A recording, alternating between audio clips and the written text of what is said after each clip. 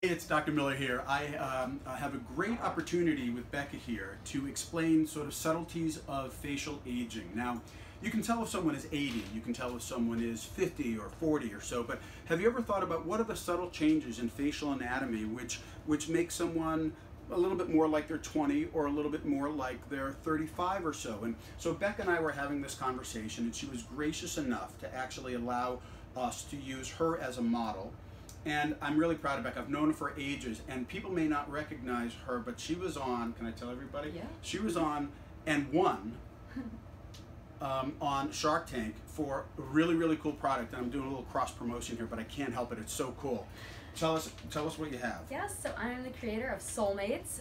We invented this product that prevents women's high heels from sinking into grass at weddings and parties, getting stuck in city sidewalks, grates, you name it. It's like insurance against ruining your high heels. And, and, and I'm honestly, I'm honestly just so proud of Becca because I've known her for ages before she created this. So, so, so honestly, that wasn't a commercial as much as me like being just so proud of her. Really, really, genuinely, I'm just so proud of her for, for all of her her success. Uh, and they actually work, by the way. yes. Okay, uh, launching in CVS stores uh, across the nation on Next Monday, Friday. on next Friday. yes.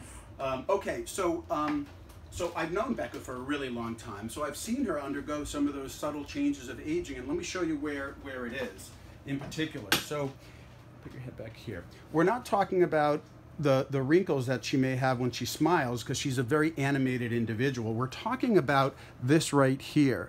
And this is this line that you can maybe see right here and right over here.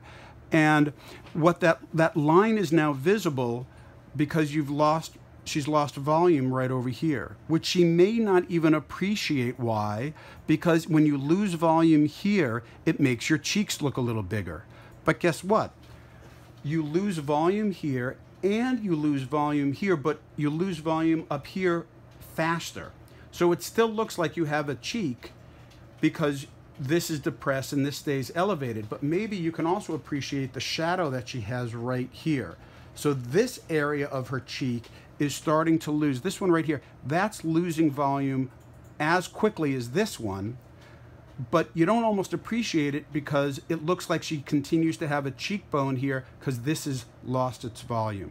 So the, the, what we're going to do today is fill this up, recognize how deflated this area is, and then fill this up over here ever so slightly as well.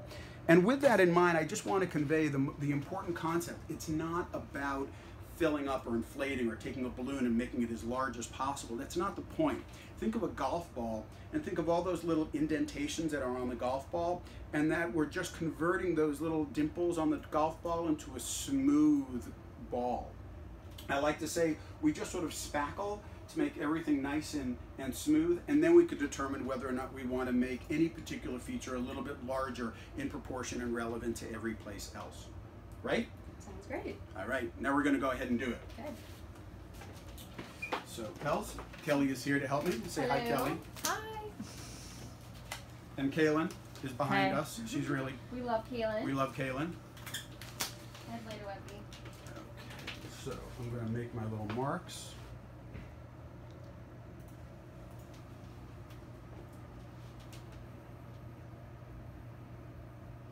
Go. Just.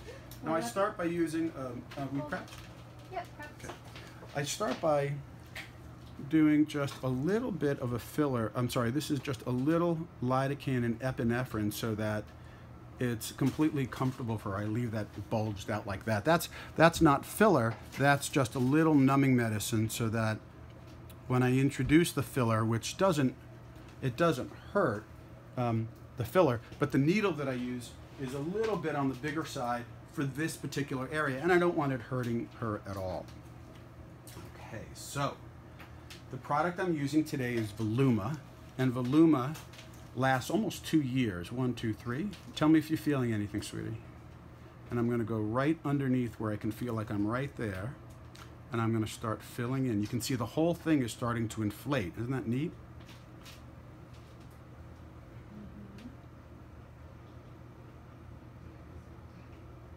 You're just blowing up beautifully. How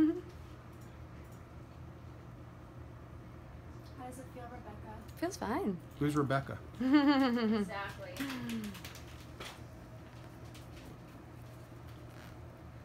There we go. Mm-hmm. And now you don't see that line anymore, right? So the forehead, the forehead smoothly comes into the temple.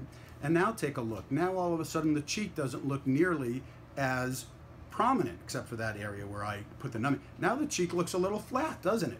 Right? So in order for me to make this cheek a little bit more prominent, I'm going to add volume. See how this side almost looks a little bit more like she has a cheek here, but that's because she's depressed here. Okay? Again, disregard that that area right there. But over here, I'm now going to make this contour come right into her cheek. Okay, good. That. One, two, three. Ooh.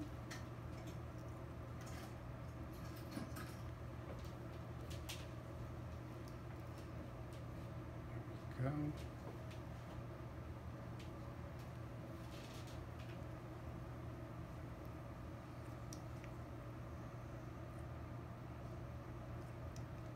go. Good. Mm-hmm. Just gonna put a little pressure on that right mm-hmm. here.